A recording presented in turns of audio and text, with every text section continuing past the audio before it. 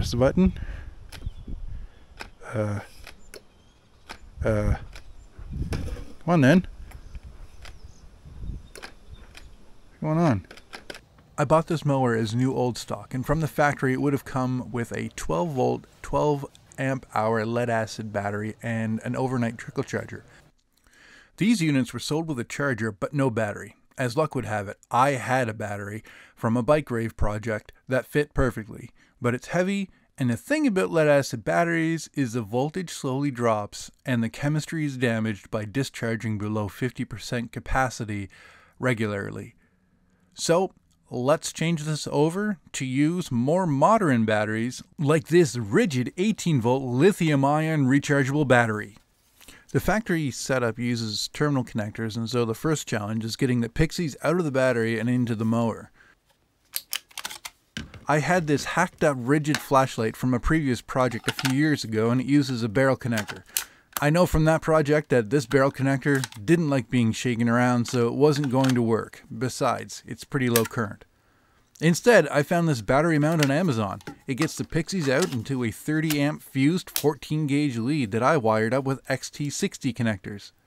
This type of connector is common in the RC car hobby and it's capable of handling 180 amp burst and 60 amp continuous all while enduring the rough ride without coming apart. Another Amazon find, this DC to DC converter drops 15 to 40 volts down to 12 volts and the label says it can deliver 30 amps.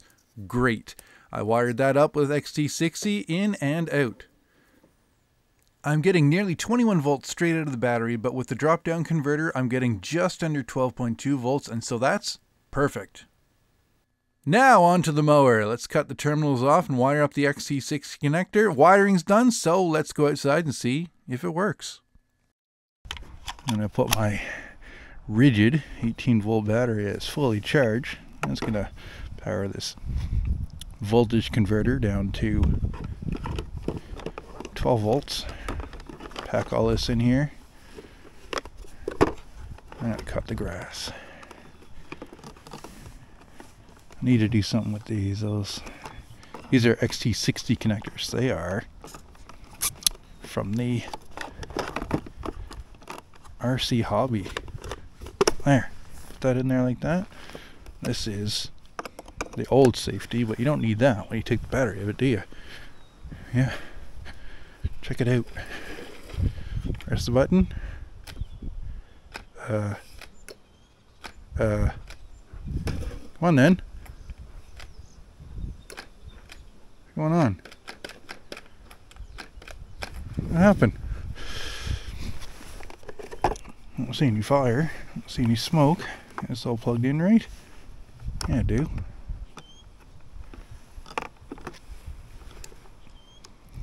Going on? It's all charged up. What's going on?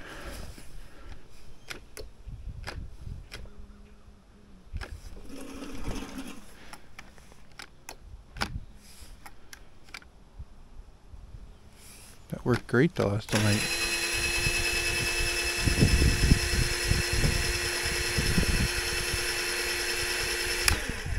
I don't know what that's all about, but we'll pack that back up there and we'll do anything different.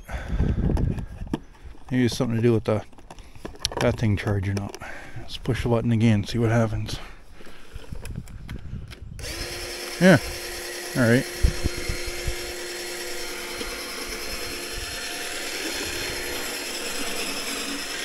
Aside from that little hiccup, this has been working great since the fall of 2022.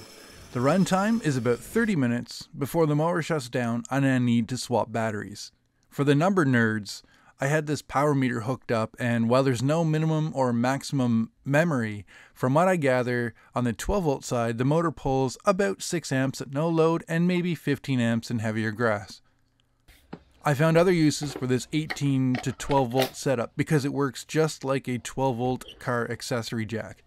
In an 8 day power outage, I powered a 120 volt inverter for the modem, and I ran a 12 volt washdown pump for showers, and charged our mobile devices using a USB car charger.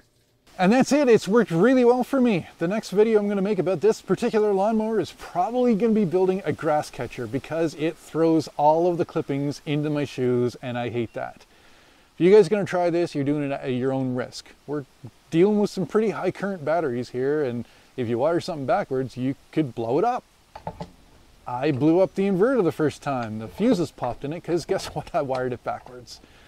So that's it. If you guys found this video useful, then hit like. And if you want to see what I'm up to next, then hit subscribe. Here's the plan.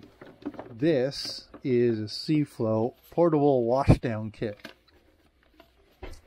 It's a battery powered garden hose. So it comes out here to like this connector, I don't know what it's called, but then you plug this in and that plugs into a cigarette lighter. So I'm going to use my internet setup to do exactly that. Plug it in, stick this end into a bucket of warm water, this end over the shower. Boom, look at that. We have a hot shower. So boil some water on the propane tank, on the propane uh, thing, fill up a bucket, put that into the hot water, this into the shower, and I'll be able to rinse my nuts.